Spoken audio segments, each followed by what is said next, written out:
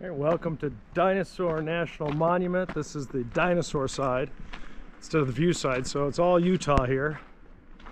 You can see the friendly Stegosaurus in front of the visitor center. The this area, the fossils they've found are all late Jurassic, so about 150 million years. We're gonna take the fossil hike, the fossil discovery trail. I guess it's about a mile, but uh, it ends at the wall of dinosaurs, so I'm really kind of excited to see that in real life. People have been walking through here for hundreds of years. Um, the site itself, though, officially about 1900, 1909 or something like that when they first made uh, the first kind of scientific discovery and uh, recording. I'm going to walk over here next, but you can see, you know, this is where the rock formations start and everything out to the south and west is pretty flat. So, you know, if you're headed in this direction or really in either direction along the river, you're going to be walking around here. And uh, the uh, large crevasses, you know, they're all over the west here. Remind me a lot of Roosevelt National Park up in uh, North Dakota. I was walking through those and the warning they gave you was be careful of bison because bison like to walk up there too. well, here is so you can see some graffiti, but we have an animal drawing of some sort. There's activity here. It doesn't really give a good explanation, but this is cordoned off for some reason. You know, in Europe, graffiti goes back farther than this, um, which is really kind of fascinating. But, you know, ideally that's all uh, First Nationer. But the growth on the rocks, the bones that they found for the dinosaurs are from that Jurassic period, late Jurassic. But the stratas are all over the place. They just haven't found other dinosaur bones. So it is possible that there are bones from earlier in the Jurassic, in other words, older than 150 million, Cretaceous, younger than 150 million. So they just haven't found them. First of all, plate tectonics, I've learned, apparently wasn't a thing until I was, after I was born. Surprised my textbooks talked about Pangea. Because I was going through school when that debate was still hot. Uh, you know, another ma amazing fact that this guy pointed out was, you know, right now I think the estimate of galaxies in, in the sky, viewable sky, or not viewable sky, about 185 billion galaxies. Just over 100 years ago, still 1900s, there was only one galaxy. That was the Milky Way. That's all they knew about. Just one galaxy. So in 100 years,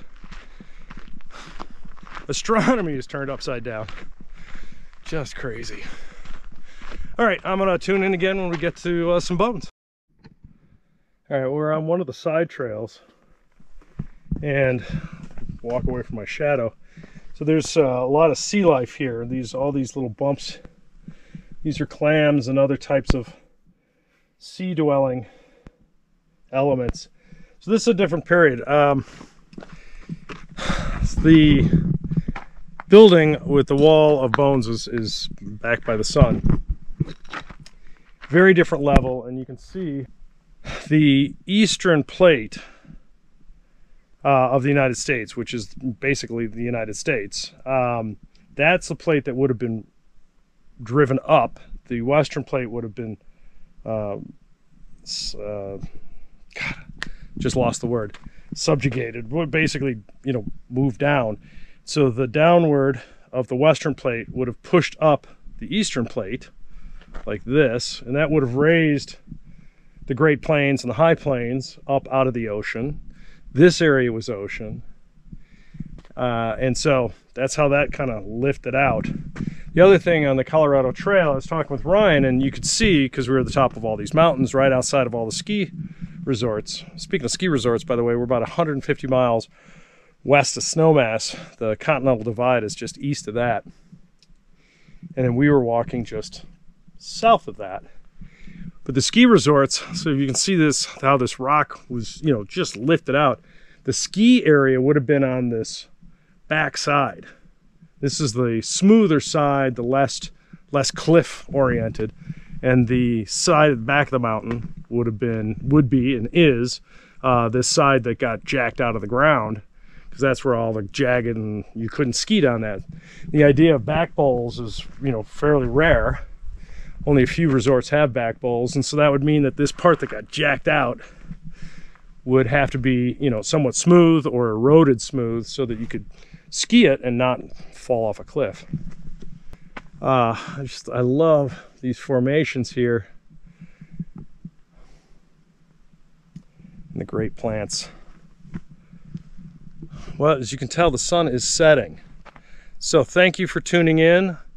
This is Dinosaur National Monument. Um, why is it a monument instead of a national park?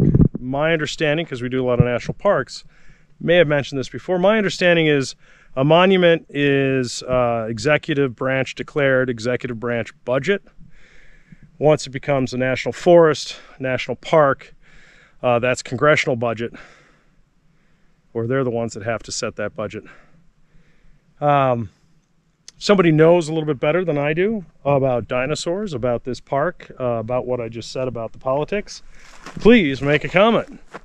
Love to hear it. And if I've completely misinterpreted how these plates moved. Remember, the idea of plate tectonics came after I was born. So if you know more, please correct me. I really, I, I, I like your comments and um, uh, I learn a lot. So please uh, provide some comments.